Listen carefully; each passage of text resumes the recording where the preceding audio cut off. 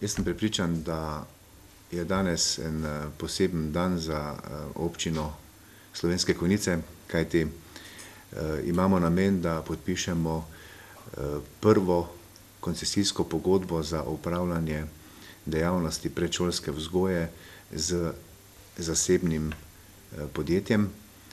In nekako v zadnjih dveh letih, ko je prišlo do povečevanja števila otrok v vrtcih, se je izkazala potreba in kasneje, ko smo ugotovili, da so izpolnjeni vsi zakonski pogoji, da lahko razpišemo tudi razpis za podelitev koncesije, smo nekako v kar precej dolgem časovnem, časovnem obdobju uspeli pripeljati ves postopek tako daleč, da imamo danes pred seboj pogodbo, koncesijsko pogodbo za izvajanja programa predšolske vzgoje in varstva z zasebnim vrtcem Mali grof iz naše Grajske ulice.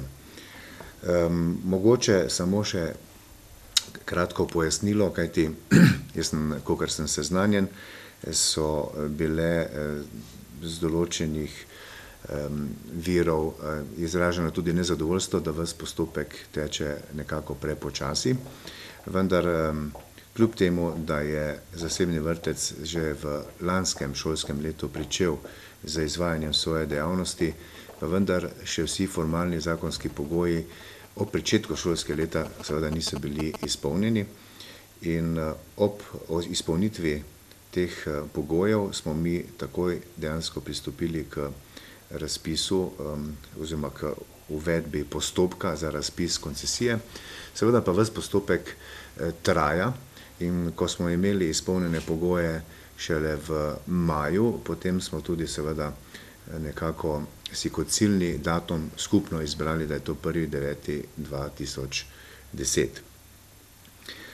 Več o sami dejavnosti in o vsebini izvajanja programov bo povedala direktorica, gospa Nina Sešljar. jaz se pa iskreno veselim, kajti vem, ko sem bil na obisku v tem vrtcu, da so storitve in pa tudi sama opremljenost objekta, sama igrala na zelo visoki ravni. In vsekakor želim prvemu zasebnemu vrtcu v Slovenskih Konjicah uspešno delo še vrsto, vrsto let, ne samo teh prvih pet let, za kolikor traja koncesijska pogodba. Jaz moram reči, da sem zelo vesela danes, da je prišlo tako daleč, da lahko podpišemo pogodbo, koncesijsko pogodbo. vsi vemo, da pač postopek je trajal dolgo, v bistvu celo leto, kot je že župan povedal, mi dejansko lani s septembrom, ki smo vrtec odprli, nismo imeli vseh papirjev zagotovljenih še iz strani Ministrstva za šolstvo in šport, kar je v bistvu nam tudi oteževalo sam začetek dela. mi smo se nekako odločili, v bistvu jaz sem se odločila, da kljub temu, da še nimamo odločbe, in glede na to, da smo imeli tudi vpisano v vrtec trideset otrok, da začnemo z delovanjem z s prvim devetim dva tisoč devet. kar se je kasneje pokazalo za mogoče mojo slabo odločitev, glede na to, da do novega leta, lanskega leta, mi nismo dobili finančne pomoči. in kar je vse skupaj pripeljalo do tega, da smo mi lansko v bistvu prejšnje šolsko leto zelo težko finančno pripeljali do, v bistvu izpeljali do konca, no, tako odkrito bom povedala, da mi smo naredili lani veliko izgubo. to izgubo sem pokrivala osebno jaz s svojimi sredstvi, kar pomeni, da tri mesece sem pač plačevala za te otroke, ki so bili pri meni, sama za njih v bistvu to vzgojo in vzdrževanje, ker pomoči ni bilo. Tako da mi smo potem tudi po novemu, po novem letu začeli na podlagi odločbe pridobivati ta sredstva, vendar se je naredil zelo velik minus. tako da jaz upam, da bo zdaj s podpisom koncesije, se stvar normalizirala, da bomo mi lahko zadevo do novega leta uspešno pripeljali na pozitivno nulo. Tako da se potem dejansko, to nekako, izniči, no. stvar, ne vem, jaz mislim, da stvar je vseeno treba povedati, ker mi smo, potem tudi po novem letu mogli s starši narediti sestanek, jim zadevo predstaviti, in tudi starši so potem plačevali, dosti višji vrtec, kot ostali starši, ki so imeli otroke v javnem vrtcu.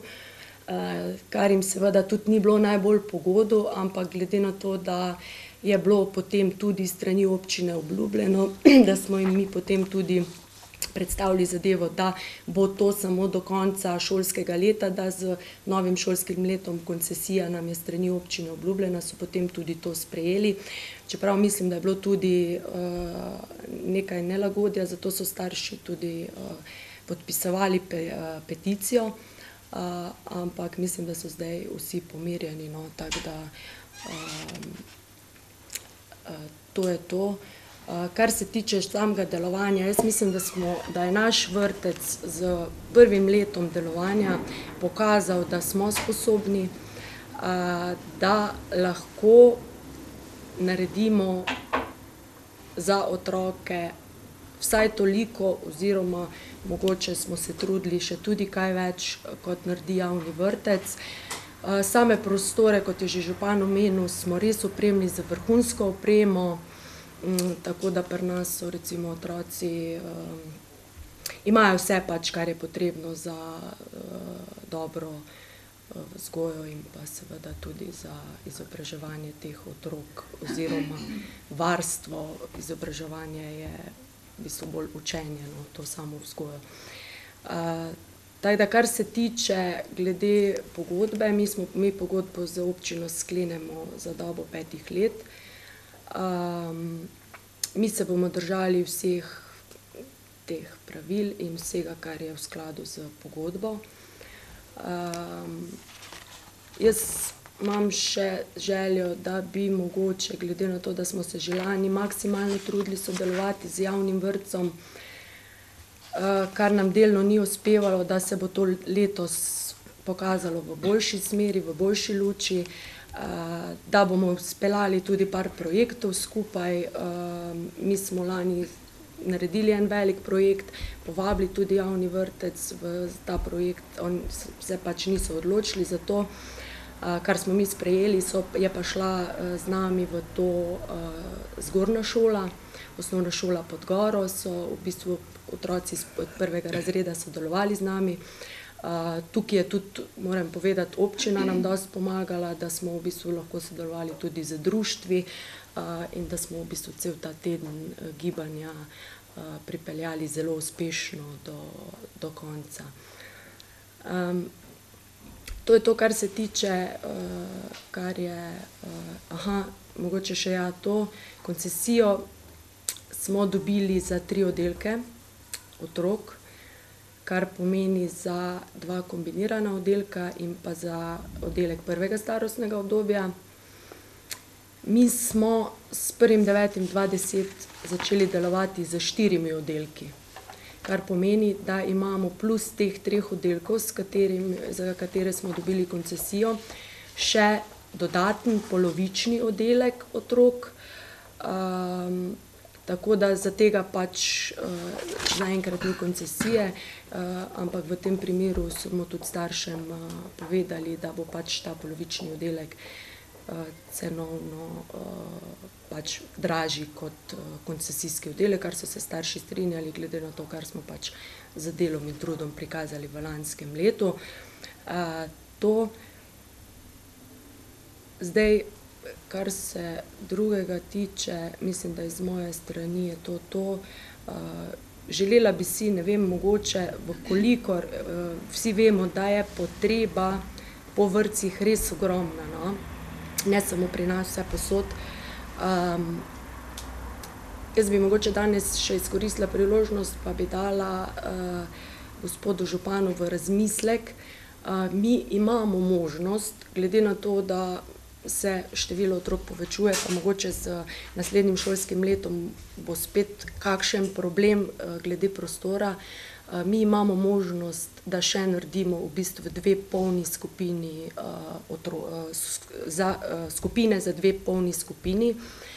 S tem, da če bi se potem odločili za ta korak, da bi mogoče naredili to z nekimi skupnimi močmi in pa sredstvi, kajti vsi vemo, da to, kar je bilo vloženo lani, da ni, ni mala stvar in mislim, da se je pri meni s tem no, zaključilo, kar se tiče uh, samega vlaganja. Uh, možnost je, prostor je, tako da če se bo kdaj pojavila potreba, uh, smo na razpolago, pa uh, želimo v bistvu sodelovati tu zraven, glede na to, da pač možnosti so. Uh, naredili smo tudi za to, ta dodatni uh, oddelek, da pač.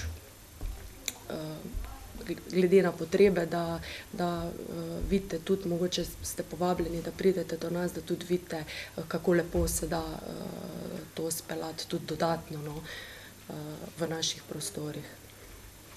Hvala. Hvala lepa, gospod direktorci.